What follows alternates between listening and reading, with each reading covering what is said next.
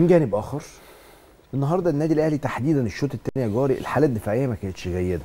واللي كان بيعرف يعمله النادي الأهلي في مباريات في الدوري أو تحسن فيه في الدوري مش بتكلم على كأس العالم للأندية عشان كان عنده نفس الاخطاء دي في النواحي الدفاعية في كأس العالم للأندية هي اللعب خلف الباكات في النادي الأهلي سواء علي معلول أو محمد هاني أو حتى في منتصف أو عمق دفاع النادي الأهلي. كان فيه أخطاء دفاعية واضحة وبين قوسين أحيانا بتبقى ساذجة في خط دفاع النادي الأهلي. إيه الأسباب؟ بشوف إن الأهلي أغلبية ال... في فرق level كبير قوي يا كريم. خلينا نبقى صراحة لما بيلعب ال... فرق الدوري. بي ممكن يواجه الزمالك. بيراميدز بيبقى profile ات مختلفة. فيوتشر هي دي ال profile ات شوية اللي هي قريبة من الأهلي أو اللي هي ممكن الأهلي يبقى واخد حذره شوية. لما بيبتدي يروح في ال level التاني سواء أفريقيا أو مع كأس عالم أندية بيظهر ممكن défaut هات. وده طبيعي. يعني يعني هو ده لأن أي فرقة عندها مشكلة. ابتداء من أول ريال مدريد حامل لقب دوري أبطال طبعاً. أوروبا لأي فرقة في الدنيا عندها défaut هات. لكن هي الفكرة إن ال défaut لما بيتكرر زي في نفس الوقت لما يبقى حاجة إيجابية بتتكرر في الملعب هنا لازم تعمل عليها highlight سواء بالسلب أو بالإيجاب. بشوف إن الأهلي عنده مشكلة دايما في كذا نقطة. النهارده كانت باينة قوي في في في, في نقطة هنشرحها. كذا نقطة اللي هم إيه؟ الاهلي دايما عنده مشكلة لما الفرقة بتلعبوا على التحولات يا جيمي بيبقى عنده مشكلة في الرده بالذات في الاثنين في نص الملعب فبتفوجئ مع أي مدرب على فكرة هي بتبقى مشكلة عند اللعيبة لو دي موجودة كحالات نعرضها وأنت بتتكلم ال- ال- اللي جاية هي اللي آه، هتكلم عليه اللي آه. هي كانت واضحة جدا النهارده عملية الضغط آه. اللي الأهلي كان بيبقى مميز فيها مع مارسيل كولر مم. الحقيقة النهارده أنا شفت بالذات في الشوط الثاني الشوط الأول اتعملت بشكل كويس الاهلي دايما ما بيسيبش مساحات في ظهره. خلينا نعرض كده الحالات. يلا يلا كانت- يا جماعة. في واحدة كانت واضحة جدا اللي هي اتعملت بالعرض في أول الشوط الثاني مم. أيوة. اتفرج على بص بص هنا ديانج وهنا حمدي فتحي. ها.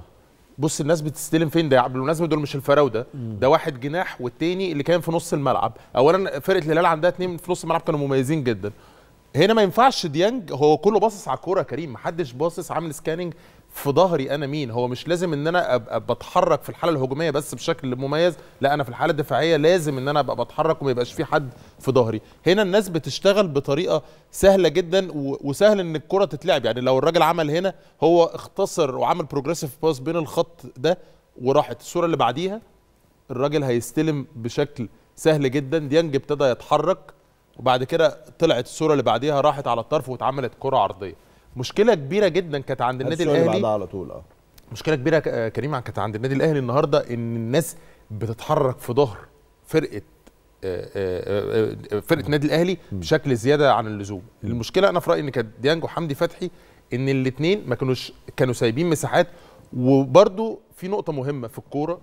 لما أنا ب... أنا third back أنا بتكلم بقى هنا على ياسر وبتكلم على عبد المنعم. الاثنين السيرد باكين لما يلاقوا ده لازم هم اللي يزقوا الباكين معاهم ويبتدوا يطلعوا. عشان أقفل المساحة هبتدي أضغط الاثنين دول. هيرجعوا أوتوماتيك قدام ديانج وقدام عمرو السولية. دي ما اتعملتش ودي كانت واضحة جدا.